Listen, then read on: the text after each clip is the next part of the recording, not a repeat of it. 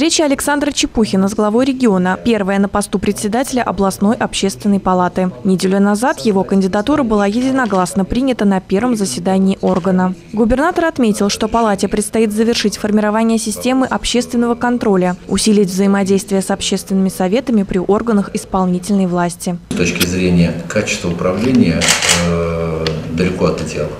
Есть достаточно большое количество нареканий. Э, некоторые органы государственной власти крайне э, невнимательны и недальновидны э, при принятии решений. Александр Чепухин предложение главы региона поддержал. Основная цель, которую он будет ставить перед собой и коллегами, это вовлечение максимально большего числа жителей региона в деятельность палаты. Главная задача общественной палаты – это стать настоящим коммуникатором между обществом и властью.